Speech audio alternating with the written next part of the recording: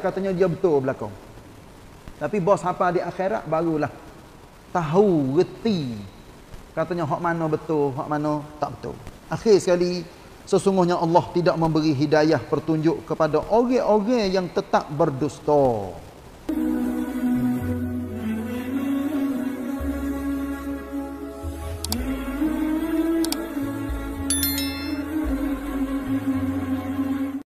mengandungi 75 ayat dinamakan surah Az-Zumar.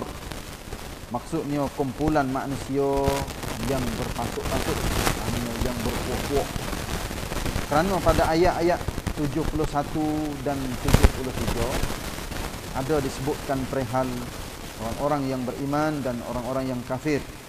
Dibawa berpasuk-pasuk dibawa berpuak-puak untuk menerima balasan masing-masing. Intisari kandungannya yang secara ringkasnya Sebahagian besar di antaranya memperkatakan soal tauhid dengan berbagai-bagai cara supaya dapat meresap dan bertapuk di hati. Disertakan dengan pengajaran-pengajaran dan tamthil ibarat yang menyedarkan hati untuk menerima dan mematuhinya. Dalam hal ini antara lain Allah Taala menerangkan keadaan orang-orang yang beriman yang berhati murni yang sentiasa menjauhi dirinya dari melakukan syirik serta mereka taat bulat-bulat kepada Allah. Bahawa mereka akan beroleh berita yang menggembirakan iaitu sebaik-baik sahaja mereka mulai meninggal dunia. Mereka yang demikian sifatnya ialah orang-orang yang berusaha mendengar perkataan-perkataan yang sampai kepadanya lalu mereka memilih dan menurut akan yang sebaik-baiknya pada segi hukum agama. Mereka itulah yang diberi hidayah pertunjuk oleh Allah dan mereka itulah orang-orang yang berakal sempurna. Kemudian Allah Taala menegaskan bahawa ia telah menurunkan sebaik-baik perkataan iaitu kitab Al-Quran yang bersamaan isi kandungannya antara satu dengan yang lain. Tentang benarnya dan indahnya. Yang berulang-ulang keterangan-keterangannya. Dengan berbagai-bagai cara. Yang dari kerana mendengarnya atau membacanya, kulit badan orang-orang yang takut melanggar perintah Tuhan mereka menjadi seram. Kemudian kulit badan mereka menjadi lembut serta tenang tenteram hati mereka menerima ajaran dan rahmat Allah. Kitab suci itulah hidayah petunjuk. Petunjuk Allah Allah memberi hidayah pertunjuk dengan Al-Quran itu kepada sesiapa yang dikehendakinya menurut undang-undang peraturannya dan sebaliknya sesiapa yang disesatkan oleh Allah disebabkan pilihannya yang salah maka tidak ada sesiapa pun yang dapat memberi hidayah pertunjuk kepadanya mengenai golongan yang melampaui batas terhadap diri mereka sendiri dengan perbuatan-perbuatan maksiat Allah Ta'ala yang amat melimpah-limpah rahmatnya memerintahkan Nabi Muhammad wasallam menyampaikan kepada mereka janganlah mereka berputus asa dari rahmat Allah. Kerana sesungguhnya Allah mengampunkan segala dosa kecuali dosa syirik. Lalu diseru supaya mereka segera bertaubat serta berserah bulat-bulat kepada Allah sebelum mereka didatangi azab. Kerana sesungguhnya kerana sesudah itu mereka tidak akan diberi pertolongan. Akhir sekali surah ini diakhiri dengan peristiwa-peristiwa yang akan berlaku pada hari akhirat. Dan balasan yang akan didapati oleh orang-orang yang beriman dan orang-orang yang kafir. Ini ha, kalau kita dah nakak apa yang menjadi intisari dalam surah Az-Zumar gambarlah katanya so surah ni 75 ayat gapo kata isi kandungnya yang ada di dalam ayat-ayatnya. Sebelum daripada kita nak masuk dalam ayat yang pertama, ingin saya baca sikit sebagai uh, mukaddimah uh, fadilah surah Az-Zumar. Diriwayatkan dalam Sunan An-Nasa'i dari Aisyah radhiyallahu anha dia berkata, "Kana Rasulullah sallallahu alaihi wasallam yasumu hatta naqul ma yuridu an yuftir wa yuftiru hatta naqul ma yuridu an yasum wa kana sallallahu alaihi wasallam yaqra'u fi kulli lailatin bani israil wa zumar maksudnya Aisyah royak perihal Nabi cara hidup Nabi Rasulullah sallallahu alaihi wasallam puasa sehingga kami seka katanya seolah-olah Nabi tak akan buka puasa. Nah, ayat katanya, ya puasa-puasa sungguh. Ha, puasa lagu mana puasa sungguh? Artinya banyak puasa. Bukan artinya sungguh dalam ha berok. Tak. Banyak puasa dan apabila Nabi berbuka maknanya Nabi tak puasa. Hari mana dia tak puasa? Nabi dia maknanya nampak jelas katanya dia makan dan minum seolah-olah katanya eh bila lah Nabi nak puasa kata. Ha gitu. Ni nak dia katanya sungguh Nabi apabila kalau dia makan pun nampak jelas dan apabila dia puasa pun maknanya jelas dari ha amal ibadat puasa dia yang dia buat dia laku dan dia apa ni tunjuk sebagai contoh kepada para sahabat dan kepada umat dia. Nabi SAW baca tiap-tiap malam ni iaitu surah Bani Israel iaitu suratul Isra' Subhanalladzi asra bi'abdihi laylan minal masjidil haram. Baca sampai akhir. Dan juga baca surah Az-Zumar. Ha, baca sebelum tidur. Ha, ini Nabi SAW hidup dia hidup dengan Quran. Lepas tu kita gambar dah katanya zaman Nabi dengan para sahabat dulu Quran tak ada. Pasal sebuah Duk baca so so so semua tu baca mulut belakang. Baca daripada hati dan ingat ingat sungguh. Sahabat Nabi pun terima Quran daripada mulut Nabi dah. Nabi baca, puak-puak dia turun. Nabi baca, turun. Lepas tu, ulai sama-sama puak dia. Nak ayat katanya, sungguh dalam cara hidup sahabat Nabi ni, cuba kita gambar katanya Quran tak ada tak ada di di di, di tangi, tak boleh tengok di mata. Tapi terima daripada mulut ke mulut, cerak dah. Dia kena ulai, ulai, ulai. Ada silap, ada salah. Cerak dah. Sahabat Nabi, dia pakat tegur pergi mari. Ha, ayat ni, lagu ni baca air dia. Nah, kita zaman-zaman lah ni, walaupun Quran ada tangi kita, cacuk lagi. Surah tu dengan ayat. Nah, cacuk. Kadang-kadang nak supa, kadang-kadang tambah, kadang-kadang kurang. Ha, tu menjadi perkara biasa. Tapi zaman sahabat dulu Masya Allah Sungguh puak-puak dia. Dah ngapa Quran, ingat Quran. Alhamdulillah. Masuk dalam surah Az-Zumar ni. Surah Az-Zumar. Nah, Ni kalau tengok kepada pimpinan Ar-Rahman Ra tu dia mati. Hak sungguhnya surah Az-Zumari. Az-Zumar. Nah, ni sebagai idafah ni, Mudaf mudafun ilaih. Tapi dia mati Ra. Tak apalah. Nak di dibaca tu Az-Zumar. Jangan baca surah Az-Zamri. Ada juga setengah-setengah orang okay? sebab dia tak tahu katanya baca lagu mana, maka dia baca surah Az-Zamri. Hak sebenarnya baca surah Az-Zumar. Nah, ra tu kalau kita nak pasang bubuh baris lah, kena bubuh baris alik bawah. Surah Az-Zumar. Nah, Az-Zumari. Surah yang ke-39 diturunkan di Makkah. Adanya 75 ayat. A'udzu billahi minasyaitonir rajim. بسم الله الرحمن الرحيم. تنزيل الكتاب من الله العزيز الحكيم. إنا أنزلنا إليك الكتاب بالحق فاعبد الله مخلصا له الدين. ألا لله الدين الخالص.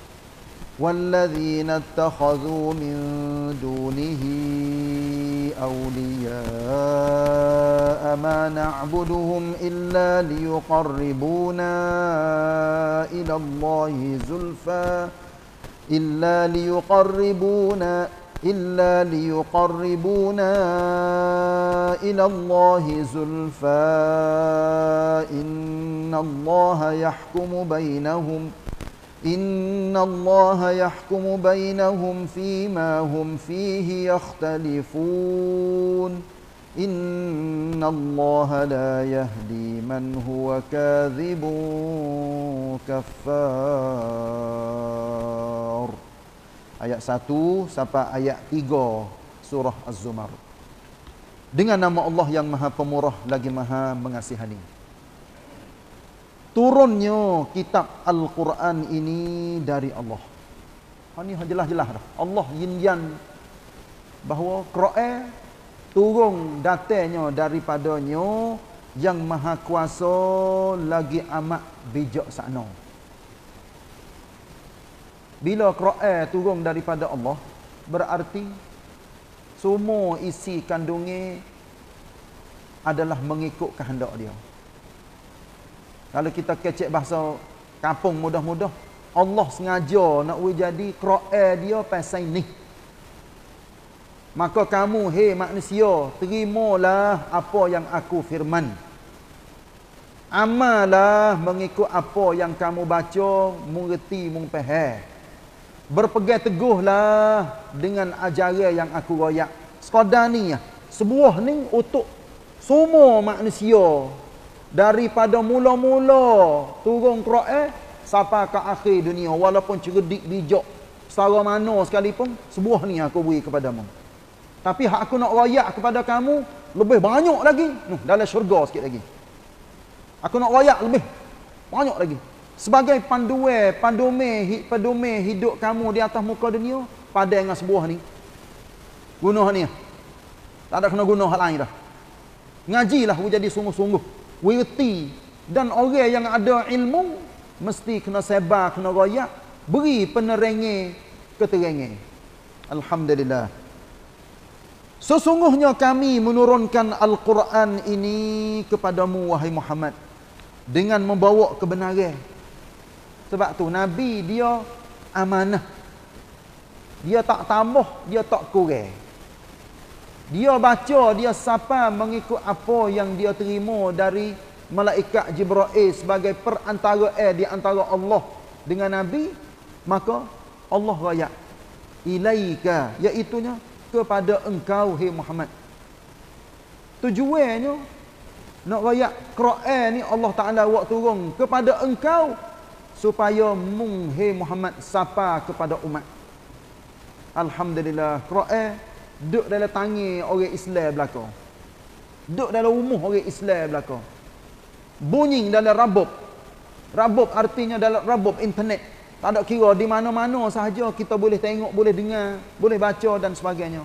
Ini nak ayat katanya tersebarnya Al-Quranul Karim yang Allah beri kepada Nabi Muhammad dan kepada umat sampai ke hari kiamat. Tu umat tu sendirilah. Nak terima, tak si terima, nak baca, tak si baca, nak faham, tak si faham, serah kepada umat. Serah kepada hamba Allah. Tapi Allah yin katanya, aku beri Quran sampai kepadamu memang benar hai Muhammad. Alhamdulillah. Oleh itu fa'budillaha mukhlishan lahuddin. Ha, ini nak sini nak suruh Nabi dan umat dia hendaklah engkau menyembah Allah dengan mengikhlaskan kepadanya segala ibadat dan bawaanmu. Bawaan ni artinya cara hidup. Witi ciwit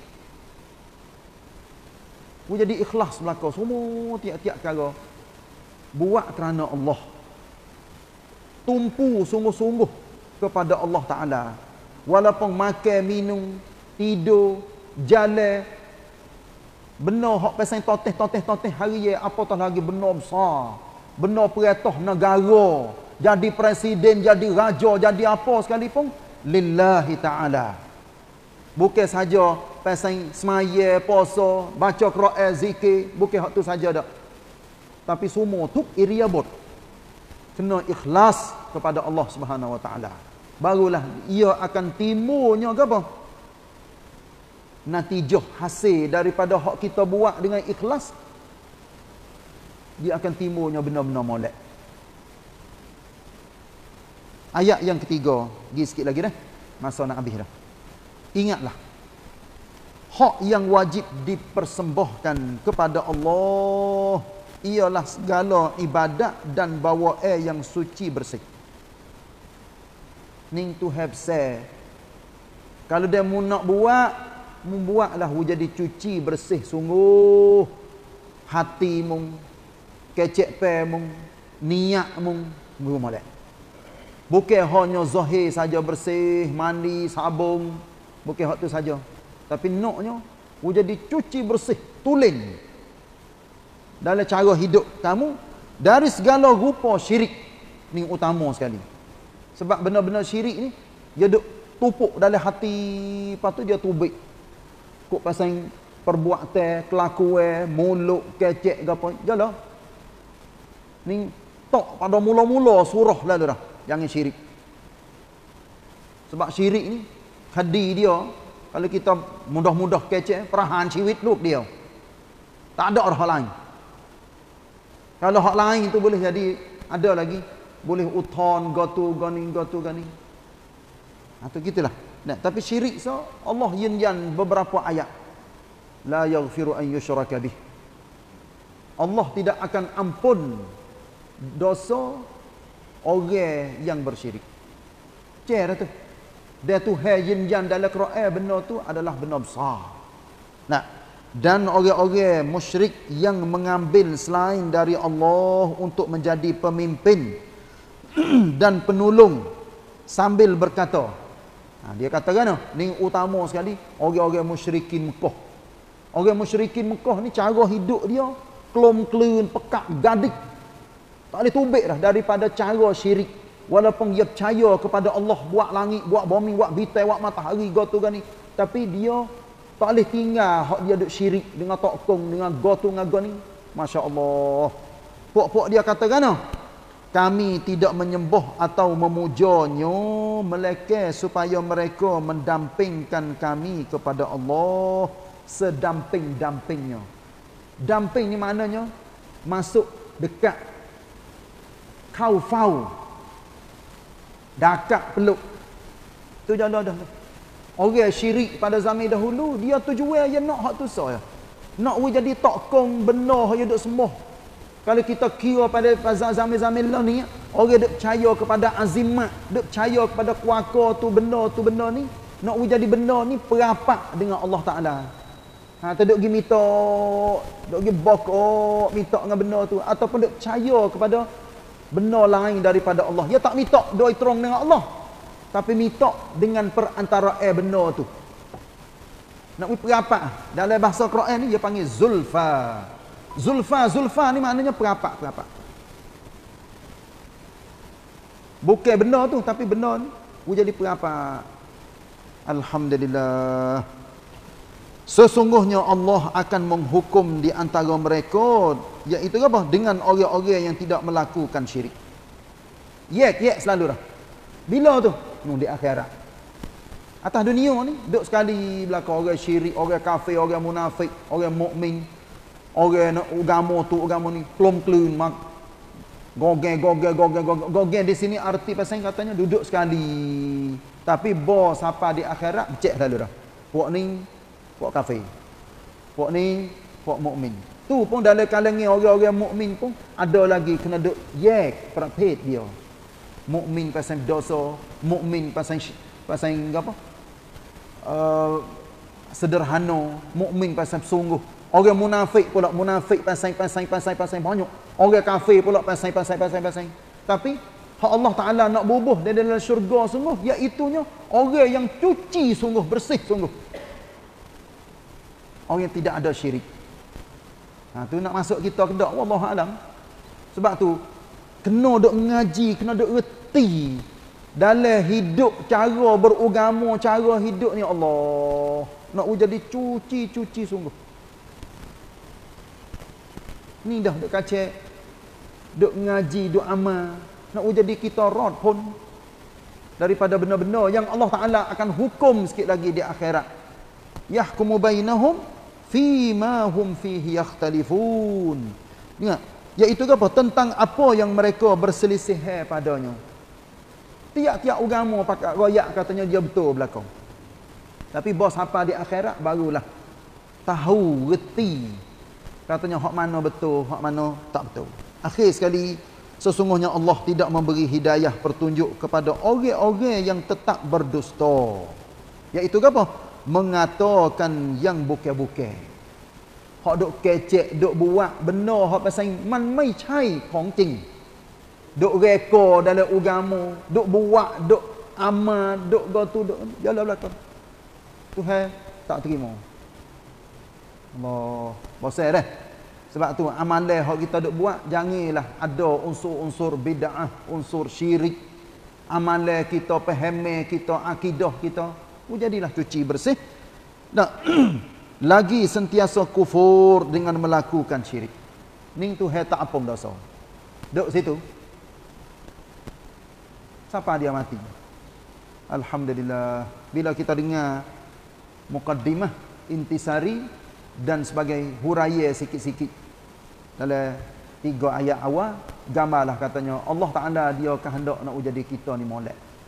Nak jadi kita jadi hamba-Nya yang bersih. Lepas tu boleh duduk seni dunia walaupun susah sikit sebanyak tapi nak wis seni lepas pada kita mati sampai kita boleh duduk di dalam syurga insya-Allah.